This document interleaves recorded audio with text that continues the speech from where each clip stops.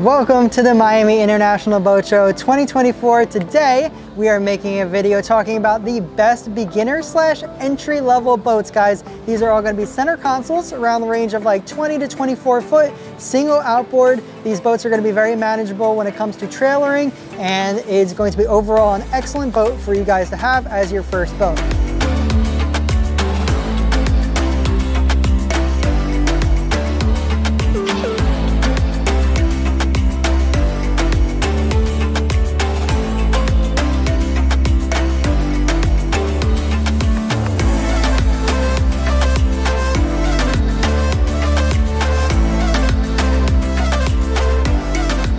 Going on guys? Ryan from Livin Salty here. Today I'm extremely excited to be bringing you guys this entry level boat video. Now real quick before we dive into our first boat here, I just want to let you know, keep in mind the boat prices here, the boat market's just very expensive nowadays. So Keep in mind the features and the brands and everything we're mentioning here, the sizes, and take this, and if it's still too expensive for you, then take a look at the used market. Look for these boats maybe a couple years old, second hand, pre-owned. Don't be afraid of a couple scratches on the boat. It's gonna knock down that price way, way, way down. That being said, let's get into it. Today, we are starting off here at the Mako booth, taking a look at their 214 model. Now this is going to be a 21 foot boat that only drafts 14 inches, which they actually told me is the same amount that a 26 foot Ranger drafts, which is a bay boat. That is extremely impressive and very forgiving if you're navigating the channels, maybe not sure where you go and you end up in some shallower water than you like. That 14 inches is going to be very forgiving for you when you guys are getting near that sandy bottom. I'll give you a quick overview here up in the bow. We're gonna have our anchor locker in the front. We're gonna have two forward seating situations over here, which we are gonna hop down and they are very comfortable upholstery here for what you get in with a 21 foot Mako. Some removable backrest and some storage that is gonna be right underneath my seat, right over here. We're gonna have our forward seating situation here, which is gonna have a removable cooler here and a seat on top of that, as well as an in-floor storage hatch right in the bow. As we make our way to the stern of the boat over here on the starboard side, we are going to have our cabin, which is going to be a little folding door situation. As you can see, it's a nice size cabin in there, plenty of room. Looks like you could probably stick a little head in there if you'd like. That is all you're going to need in a cabin of this size. And we're going to transition right to the helm station here. Take a look. We have our switches right on here, our bilge, live all that kind of good stuff. Radio controls. We have our stereo over here little nice pad with a nice acrylic windshield here as well. Now over here, we're gonna have a little bench style seating helm seat with some rod holders equipped right behind it, along with a cooler underneath for all of your bait, food, waters, drinks, any of that kind of stuff that you like to store. Over here in the stern of the boat, we're gonna have our forward facing stern seating over here, which is actually going to have a little bit of storage underneath as well. Now this boat is going to be powered by a single Mercury 200 horsepower outboard engine. So that's going to be our 214 Mako center console over here. Now this boat is going to be $87,000. That comes equipped with the Mercury 200 outboard, a trailer, as well as the electronics you guys see in this boat. Now this is an absolutely awesome starter boat for you guys. Not only is it affordable compared to the rest of the boat market, Mako has already has actually been around for over 50 years uh, making boats and it is backed by Bass Pro Shops now.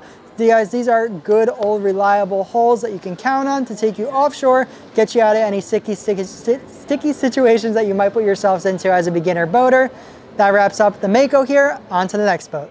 Now we are at the Nautic Star booth taking a look at their 222 OSL, which is an offshore center console here. Starting up in the bow of the boat, you can see something very unique over here, a little different shape, which actually something I've never really seen on center consoles before kind of molds your body into the front. So that's a very cool feature. You have two of those here up in the front. And just sitting down now, I can tell you the upholstery quality on this boat is actually pretty decent for the price that the price range that we are in for this 22 foot center console. Very nice job here. Now up here in the bow of the boat, we're gonna have our anchor locker up in the front. We're gonna have a little bit of storage underneath the port and starboard sides of the cushions over here, along with the middle. And if you take a look over here, we have it set up with a backrest for our forward facing bow seating over here. Along with all these comfortable arrangements, we're also gonna actually have a removable table that is going to be able to be equipped right in here. Now we're gonna have our forward facing seating here, which again is good upholstery quality, and you're gonna be able to flip it open here and check out the storage capabilities we have. I would personally load this down with ice, put our sandwiches, put our water bottles and everything like that for the day. We'll go ahead and close that up and we are going to have an in-floor storage here as well. Now the excellent upholstery quality here on this Nautic Star is going to continue down these side gunnels of the boat, continue all the way to the stern. And on the port side of the boat, we are going to have our cabin door over here, which you guys could take a look on in, is actually already gonna come equipped with a head which is always nice to have on a beginner entry boat for you because if you are taking that family out on the water, you're definitely gonna wanna have that just in case of an emergency on the water. Now we're at the helm station of our 222 Nautic Star center console here, one of my favorite places to be. You guys can see we have a very nicely equipped dash here with all of our switches, including our bilge, live wells, all that kind of stuff over here. We have a nice little half acrylic windshield, nice little area to throw any of our personal belongings up there. While we are at the helm station, I will let you guys know that this boat has a draft of 20 inches, which is a little bit more than that 21 Mako did, but it is still really good to be under two feet draft, just in case you run out that channel and accidentally run into some shallower water.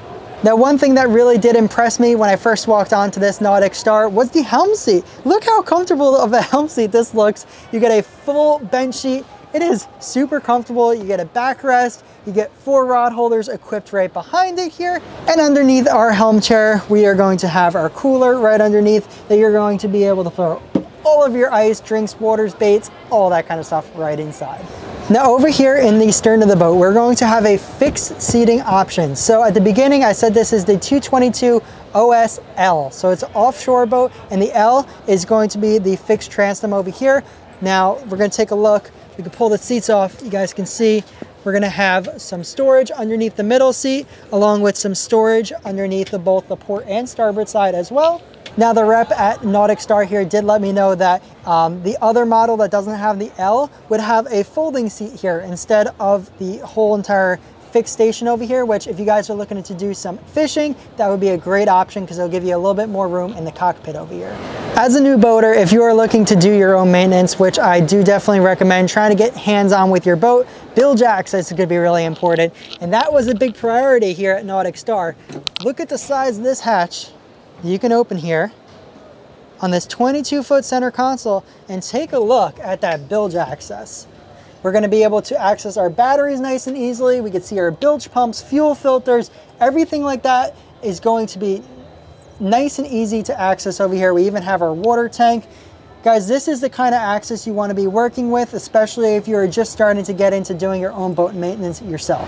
Now over here on the swim platform of the Nautic Star, we're going to have a little ladder to get in and out of the boat. We're going to have our Yamaha 200 outboard here as well as a live well on the port side of the boat.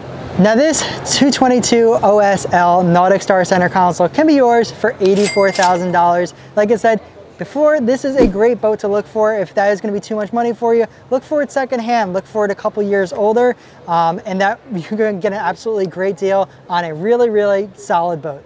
And that's gonna go ahead and wrap it up for today's video of the best beginner slash entry level boats here at the Miami International Boat Show. Let me know down in the comments what you guys like better, the 21 Mako the 22 Nautic Star.